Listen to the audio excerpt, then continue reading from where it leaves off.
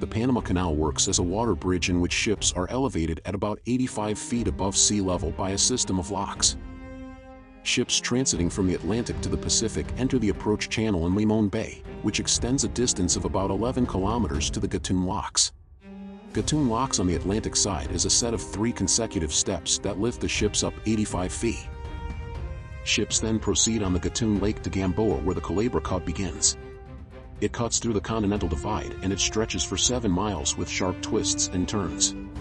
The ships then pass through a channel almost 2 kilometers long to the Miraflores Locks which consists of two consecutive steps, where they are lowered back to sea level on the Pacific Ocean side.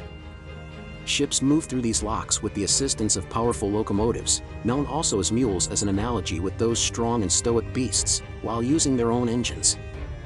The ships then pass through a final 7-mile passage after which the ships enter the Pacific Ocean,